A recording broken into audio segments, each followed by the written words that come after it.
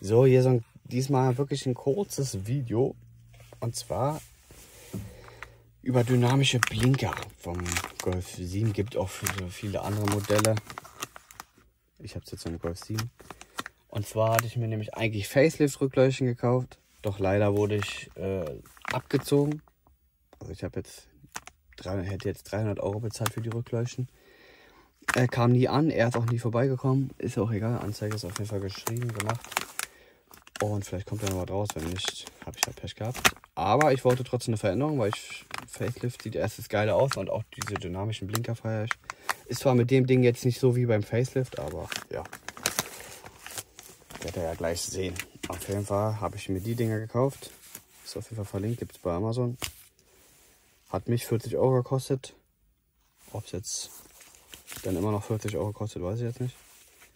Aber die kommen einfach hinten, also du machst deine alte Rückleuchte-Kabel raus, steckst es so gesagt dazwischen, dass es einfach dazwischen steckt. Hier kannst du die Geschwindigkeit dann einstellen. Das ist jetzt auf 8, das ist hier auch auf 8. Da ist auch, auch auf 8. Das lassen wir auf jeden Fall erstmal. Mal gucken, ob man da was verstellen kann oder ob es direkt passt. Da kannst du nämlich die Geschwindigkeit, wie schnell es gehen soll. Müsst ihr euch so vorstellen, ihr habt da hinten zwei Leuchten, eine in Heckklappe und eine am, halt am Auto. Und wenn du blinkst, leuchtet das ganze Ding ja komplett. Und dieses Ding kommt nur auf einer Seite jeweils.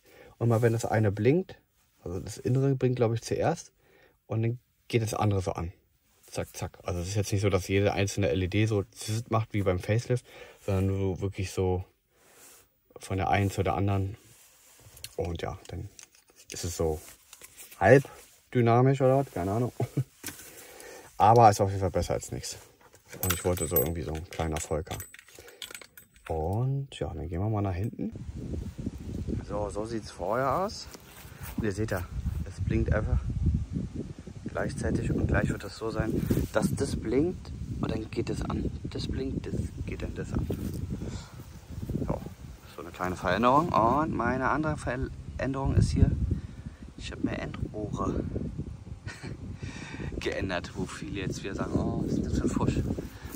Die sind halt nur rangebrutzelt mit ABE. Schön ordentlich. Mit Nummer. Sieht man die Nummer? Ja, der sieht auf jeden Fall optisch auf jeden Fall viel geiler aus, finde ich.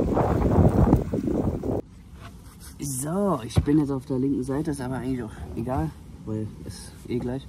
Ihr müsst auf jeden Fall so ein bisschen die Ver Guckt man auch so ran. Ich mache die Verkleidung ein bisschen weg.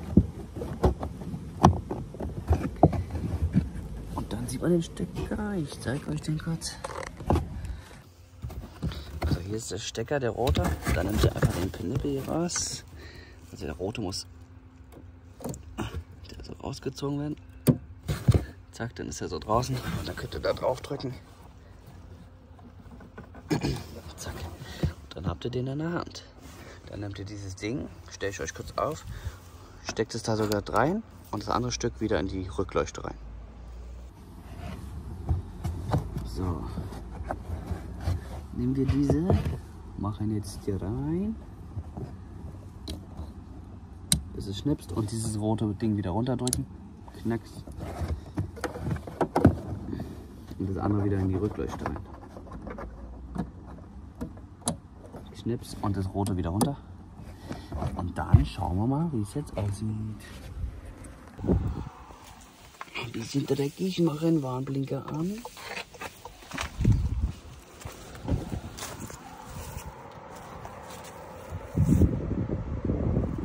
Seht ihr das? Also geht rechts an dann links.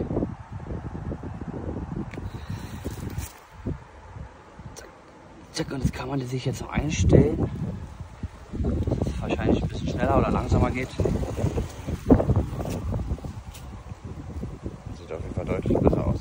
Wie gesagt, mir gefällt Ich lasse es so. Ich lasse auch die Einstellung, glaube ich, so. Gefällt mir. Ich habe jetzt gerade ein paar Sekunden geguckt. Und ich will es so lassen. Wie gesagt, für 40 Euro oder so, was es kostet, kann man nichts falsch machen. So, dann würde ich das Video eigentlich schon beenden. Ich zeige euch nochmal hier. Bam. Geht noch nach vorne, zeige euch noch kurz was und dann ist das Video schon vorbei. Ihr wisst ja, ich hatte hier diese ekelhaften vergilbten Scheinwerfer, die habe ich aufbereiten lassen, beziehungsweise lackieren mit, mit äh, irgendwas, keine Ahnung, Klarlack und aufpoliert. Und ihr seht wieder alles schicki. Da würde ich sagen, das war's mit dem Video. Bösen Blick habe ich auch noch aufgeklatscht. Geklatscht und ja. Performance sagt Ciao, oh, Tschüss.